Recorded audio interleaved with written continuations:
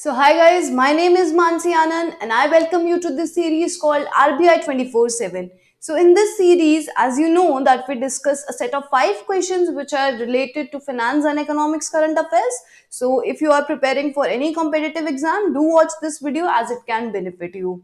Right? So, let's not waste any time and move straight away to the lecture. But before doing that, I would like to ask you guys to subscribe to our channel so if this is the first video of our channel that you are watching, do not forget to hit the subscribe button. It is going to provide you with access to a lot of good content, including videos by many teachers, many uh, teachers who are expert in their fields and covering different subjects, right? After that, do not forget to press this bell icon, which can help you to get notified whenever a new video comes up. After that, you can also join our telegram group on this group, you can post all your doubts and queries and we'll try to get back to you as soon as possible. After that, here is your question number one. I hope the screen is perfectly visible. Okay, this question talks about following are some details about financial and operating uh, leverage. Which are the correct ones? Four statements given to you. You have to select the correct ones. So, guys, you can pause the video and uh, read the statements carefully and then decide your answer. So guys, this is one topic which has been provided by one of you in the comments. So I hope uh, you get help with this topic. Moving ahead to the solution and the solution for this question is option A. Option A means statement 1 and 2 are correct. Rest 3 and 4 are not correct. Right?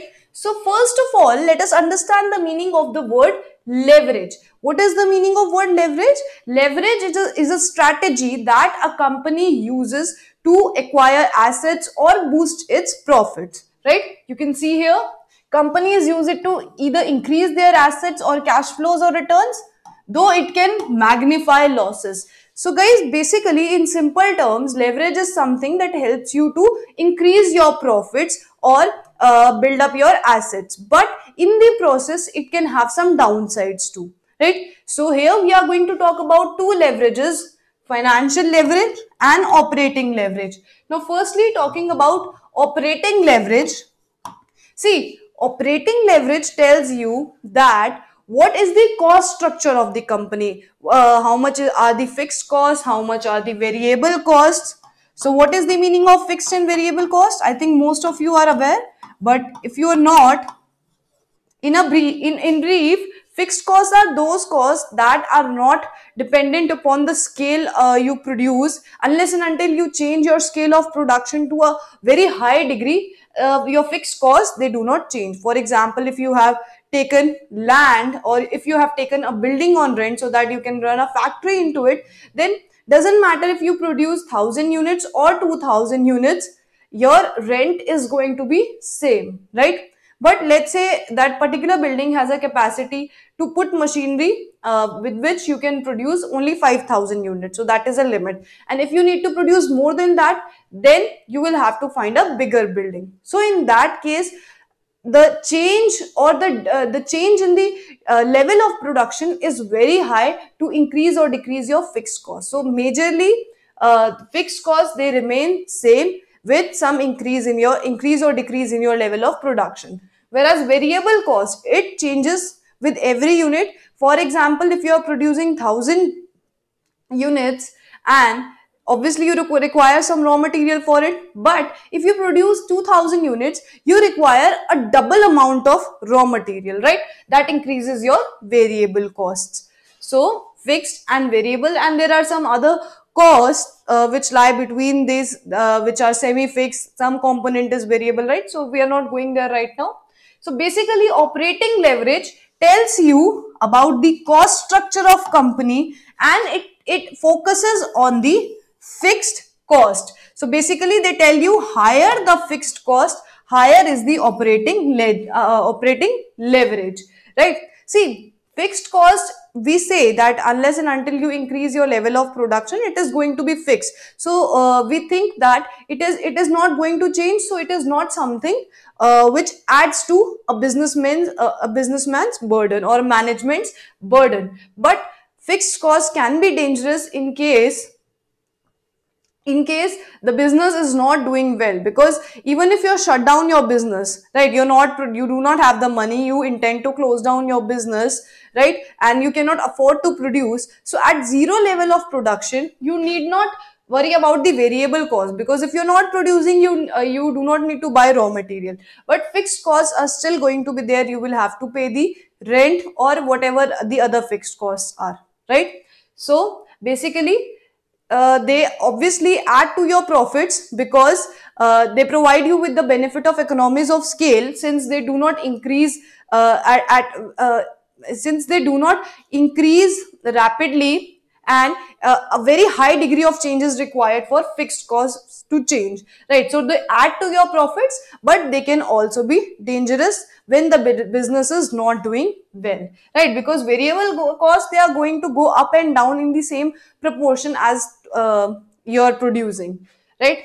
So operating leverage tells you about the cost structure. Coming to the financial leverage it talks about the debt component. That what is the amount of loan that you have raised right? So if you want to start a business you can put your own money or you can take a loan from bank right? So both of the options have their own pros and cons. If you go with your own money obviously uh, if if you lose then you need not worry about the loss because you do not have to pay to anyone else. But let's say you have taken debt or you have taken a loan from bank then you you have a fixed charge that no matter you make profit or loss you have to pay bank's money back right?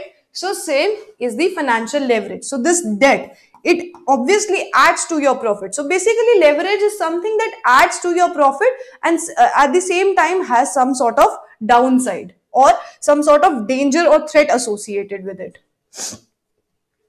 so debt component कि आपने loan कितना लिया हुआ है higher the date higher would be the financial leverage right pros and cons of both you can see here higher operate, operating leverage means profits increase with small change in sales that if you change sales that you have a see higher operating leverage means higher fixed expense and if you make a small change in sales that if your sales rise by a small proportion then it is going to add to your profits because your fixed cost is not going to increase. So this is one benefit.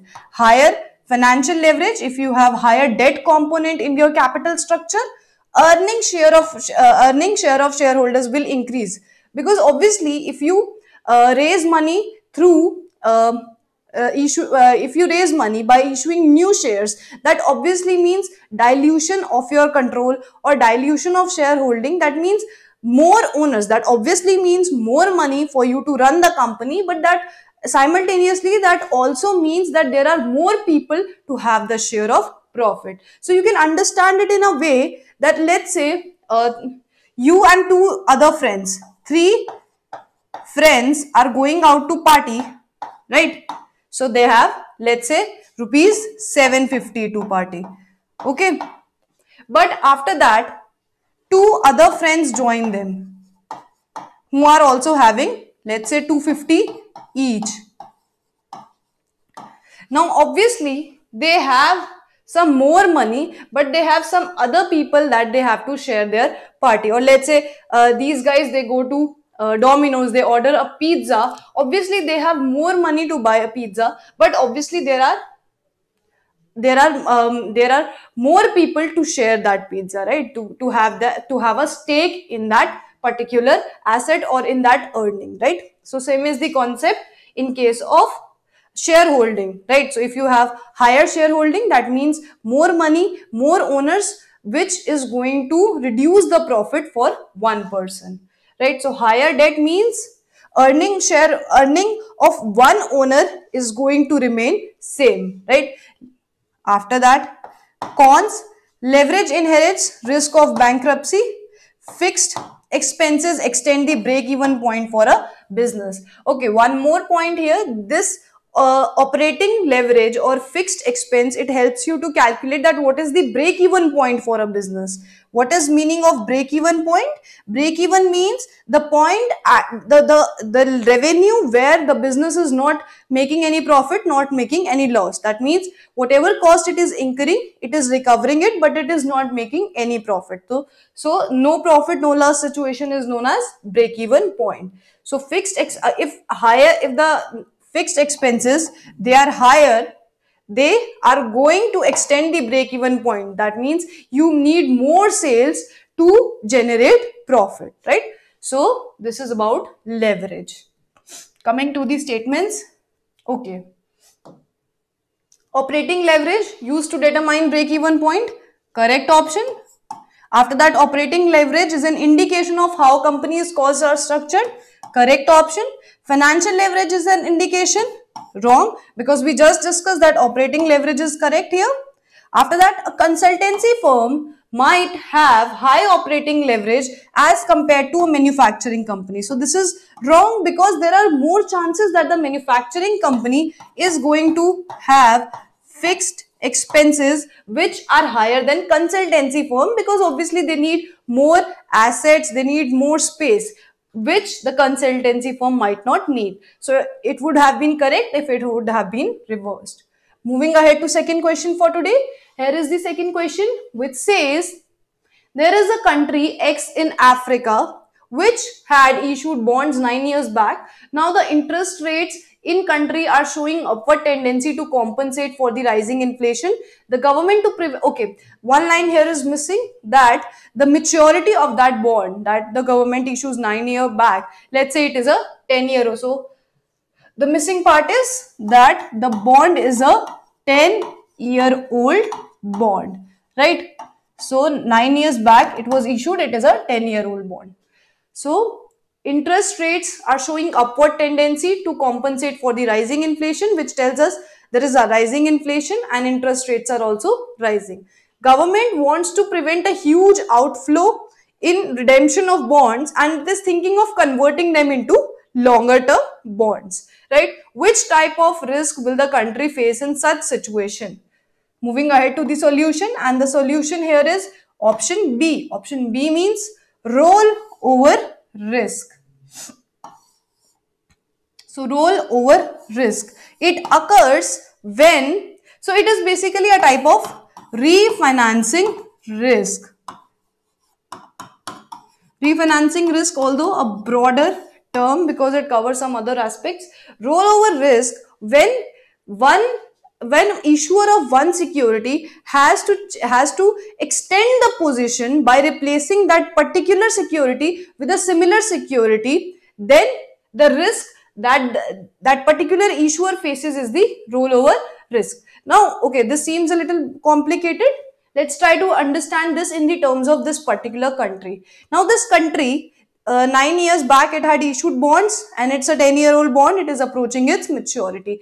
Company, uh, the country, country X needs to pay back the amount or redeem the amount to the bondholders. But they cannot, but they want to prevent huge cash outflow. That is why they are thinking that let us replace these bonds with some other longer term bonds. Let's say another 10 year, old, 10 year old bond and give them to bondholders in return for these bonds, right?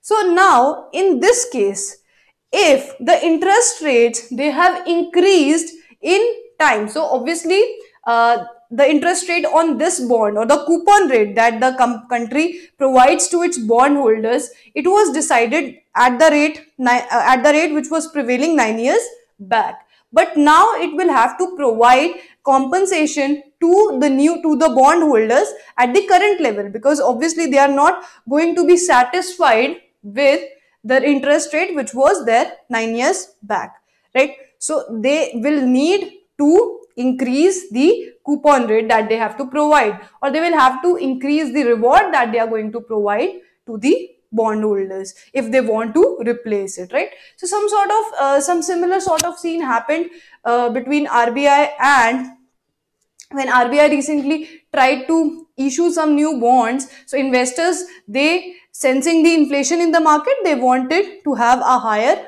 rate of uh, they wanted to have higher yield higher interest rates. And RBI wanted to keep the yields down right? So there was a conflict. Investors were not ready to buy and the bonds had to be uh, uh, bought by the underwriters. So some similar sort of conflict. So this is the rollover risk that when you are trying to roll over the bonds roll over the security then the interest rates they might have been increased which can which can pose as a new expense for the issuer or as a higher cost burden for the issuer. Right? In this case the issuer is the country. Roll uh, okay. Rollover risk associated with refinancing of debt. That the uh, specifically that the interest charge for a new loan will be higher than on the old. It can be a good proposition or the rollover risk can be really low if the interest rates they have come down. Because now the issuer would have to uh, issue or issuer would have to provide a low yield or a low coupon rate right? So generally so guys i'm using two terms coupon rate or yield. Uh, I, uh, let me just remind you that these are not synonymous.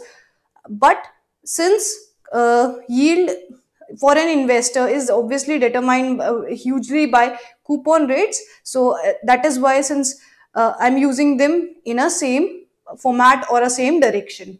So generally the shorter term maturing debt the greater the borrower's rollover risk right? So the shorter the term of your debt the more you would have to roll it over and the more is the risk.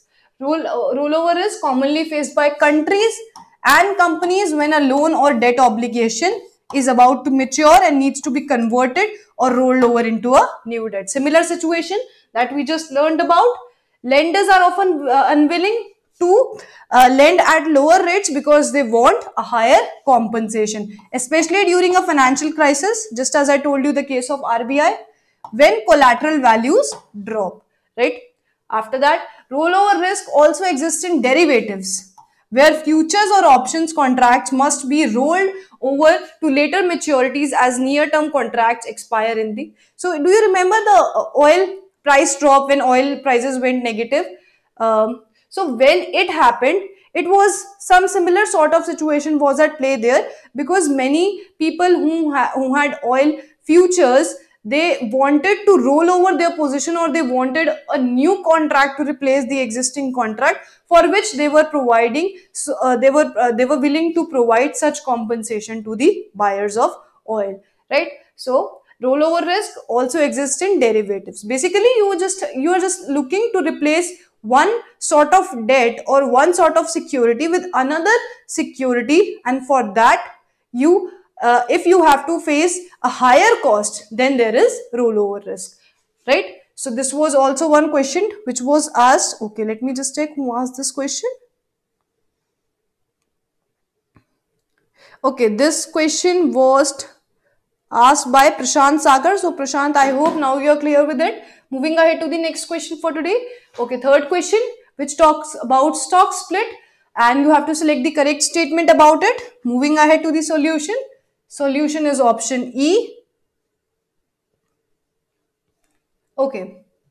Option E, right? So we'll discuss the statement. Let us first discuss the meaning of stock split. Okay, uh, let's take an example. There is a company called A Limited. It has a share worth rupees 100, right? Now, let's say it has 10,000 of such shares in the market which gives it a market cap of 10 lakh right? Total amount total value it gives it, a value of 10 lakh right? Now there the shares are priced at 100 so an investor who is looking to buy a share which is below 50 might not go for buying the share of this company. So this company thinks that the trading in our shares is not high. We want to increase the activity, the trading activity of our shares. For this purpose, it thinks that let us divide. So one share which is priced at rupees 100, let us divide this one share into 10 parts. So basically a person who is holding one share, is going to have 10 shares now. A person who is holding 2 shares is going to have 20 shares now. Person who is holding 10 shares is going to have 100 shares now, right? So basically multiplied by 10. So, but the price is going to drop, right? So now they are converting the they are reducing the share price to rupees 10 right? They are reducing the share price to rupees 10 which increases the number of shares that are floating in the market to 1 lakh.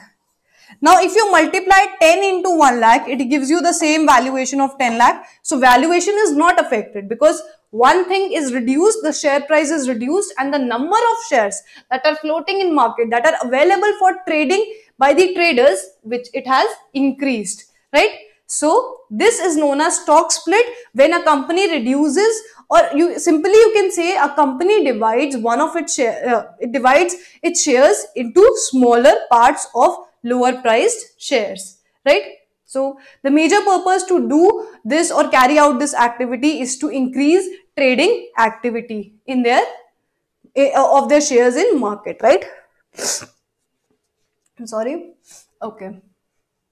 So that is why statement E is correct. When stock split is implemented, number of its shares outstanding, it increases, increased from 10,000 to 1 lakh and the price falls, uh, price fell from 100 to 10, right? So let's say if there is a person, Mr. A, uh, Mr. X, Mr. X had 100 shares of A Limited. Now he is going to have 1000 shares but earlier, these 100 shares, they were priced at rupees 100. So 100 into 100, that makes it 10,000 worth of shares. And now these 1000 shares, one is priced at 10. That still makes it 10,000. So no difference between valuations, right? Pre-split and post-split valuation, they are same. That is why option E is correct. Now let us understand some more things about stock split. Stock split, when a company uh, divides existing shares of its stock. I think we have discussed all this. Number of shares outstanding increases. Total value of shares remains the same. And most common split ratios are 2 for 1, 3 for 1. Although it can be anything. That if someone is having one share, it is going to be converted into two shares. What I used in the example was 10 for 1 share. Right? Companies, they choose to split their shares so that they can lower the trading price of their stock to a range deemed comfortable most by investors. Just, just as I told you, to make investors more comfortable in trading and to increase the liquidity of shares. Now coming to one more topic which is a reverse stock split. So reverse, what we talked about now is a for was a forward stock split in which uh, share is divided into smaller proportions. But reverse stock split is opposite of this where shares are consolidated.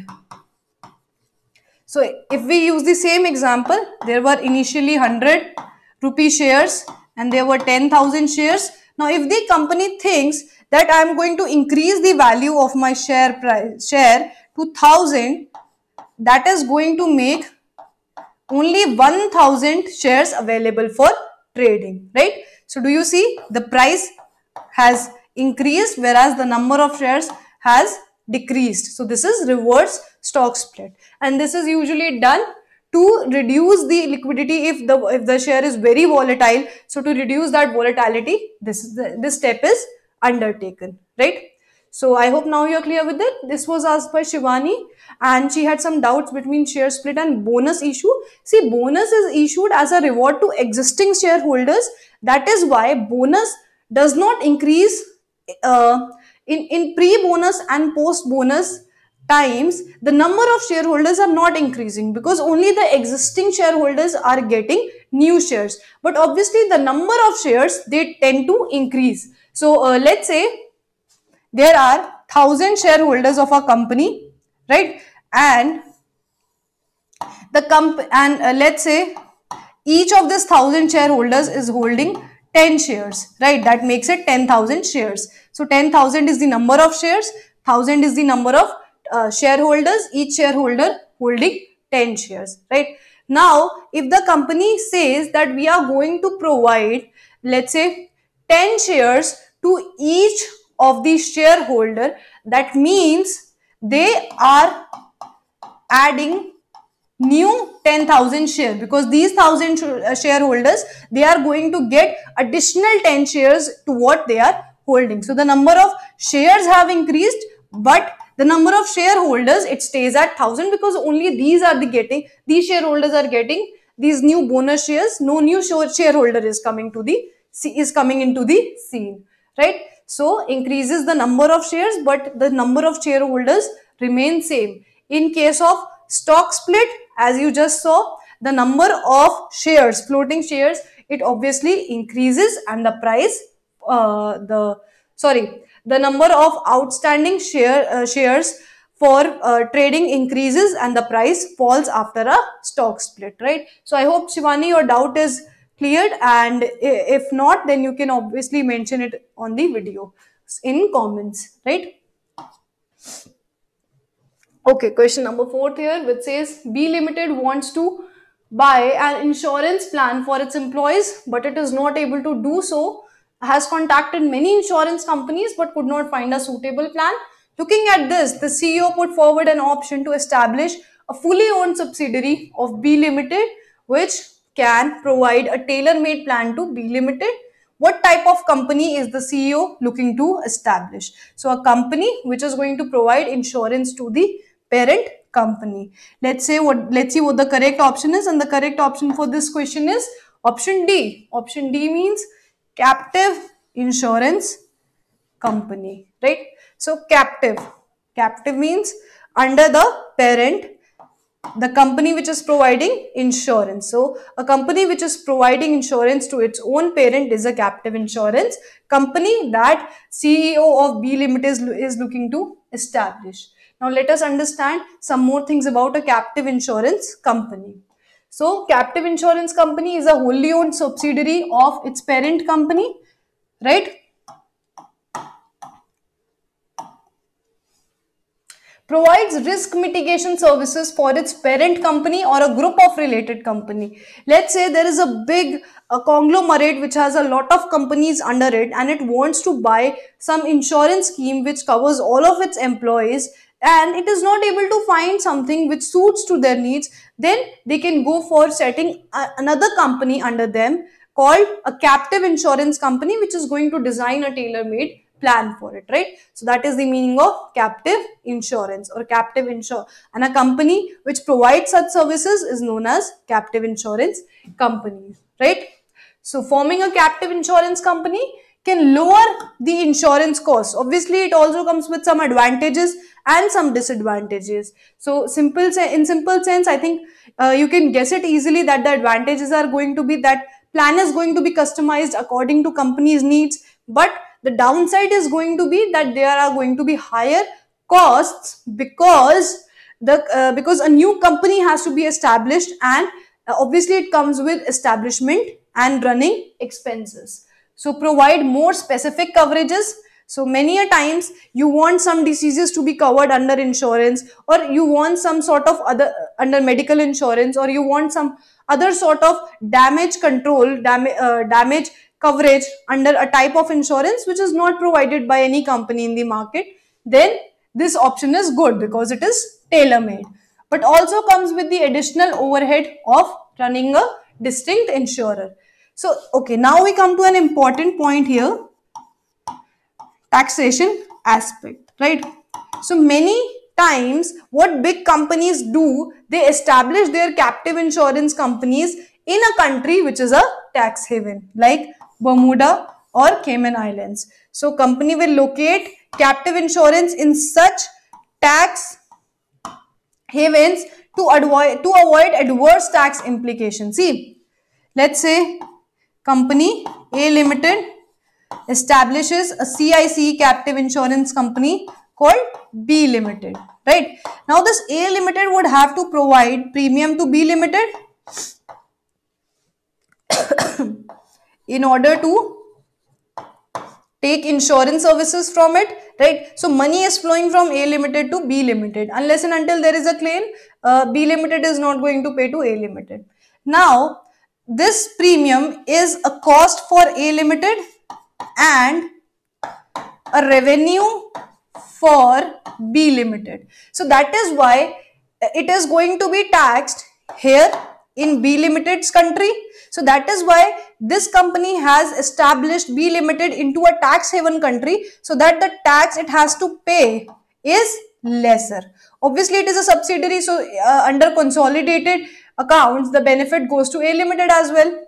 So the tax here B limited has to pay on its own uh, profit on the revenue generated is going to be lesser because it is established in a tax haven country. Whereas A limited it is getting an exemption because of this cost, the cost of paying premium to insurance company in a country which is highly taxed country. So it saves some amount uh, in a highly taxed country and uh, pays some amount in a low taxation country. So benefit to it, right? So this is also one reason to set up a captive insurance scheme. So maybe form parent company cannot find a suitable plan.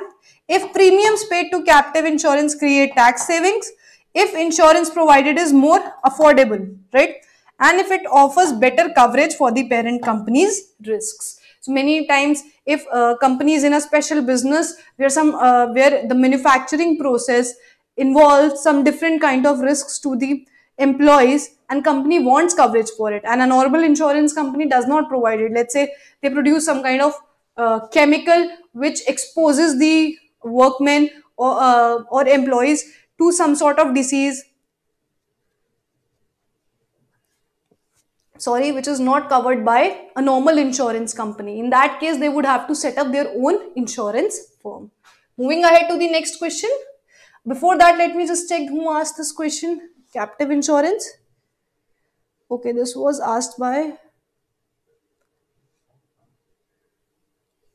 okay um so the name is missing. I hope uh, who asked it uh, gets benefited by this. Moving ahead this is the last question for today which says under dash taxation each buyer in the supply chain pays a price based on its cost including the previous tax or taxes that have been charged. So under which of the system tax on tax is charged. Moving ahead to the solution and the correct option is B that is cascading taxation. You must have heard the term cascading effect in relation to GST or VAT. Right. So in simple terms, cascading effect means tax on tax, which is prevented by the taxes like GST or value added. So now we use GST. One of the reason to bring out GST was to reduce the cascading effect. Let us try to understand it with the help of diagram here.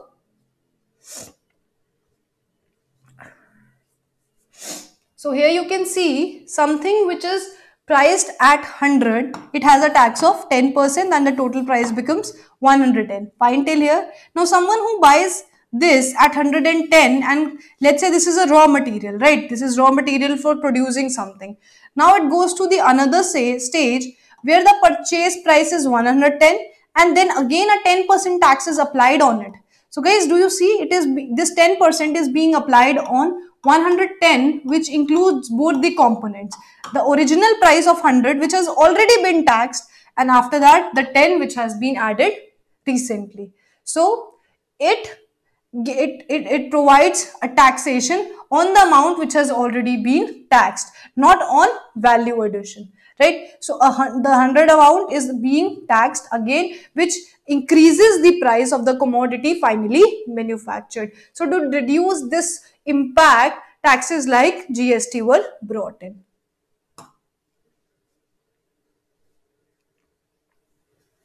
Okay. So cascading tax system imposes sales tax products at each successive stage. Obviously, it is being applied at different stages, the stages that are in a value chain or supply chain process, right, from raw material to finally being purchased by a final consumer. Cascade tax is a tax on the top of tax. There is compounding effect with real sales tax higher than the official tax rate. So, whatever is the tax rate, the ending result or the resultant tax becomes higher than that because of taxing again and again. You can understand it like the uh, compound interest, right? Let's say you deposited rupees 1000 in bank and at the end of year 1 you get a 10% tax which makes your sorry 10% interest which makes your total deposit equal to 1100 now if in the year 2 if you are again provided with 100 interest we'll say that it is a simple interest but if you are provided interest on this 10% interest on new deposit also then it is going to be 110 right? Which gives you 1210 as final deposit. Whereas if this would have been 100 it would have been 1200 so you so there is a compounding effect because this 10% is also being applied on added component right? So the similar sort of mechanism is at play in cascading tax. It inflates the prices and the alternatives to it includes gst and value added tax now we use gst everyone knows that so guys these were the five questions for today before ending the session, I would like to uh, take some doubts. Okay. Many, I was getting many doubts. Uh, you guys were getting confused between YCC, Operation Twist, quantitative easing. We have discussed these terms in different sessions. So I hope uh, this chart helps you to understand them better. You can take a screenshot of it if you want to. And still, if you have any doubt among these topics, you can ask it on the comments, in the comments on the video, right? So uh, people like Ashish, Karthikeyan, they were having some doubts about these topics. So I hope you get helped by this. Apart from that,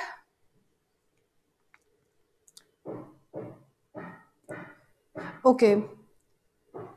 Uh, there were many doubts about uh, there were doubts about some articles that we are going guys don't worry we are going to discuss those articles in the upcoming sessions so stay tuned for it so so this is it for today and I hope to see you in the next session. Until then, take care of yourself, take care of your studies and thank you for being here.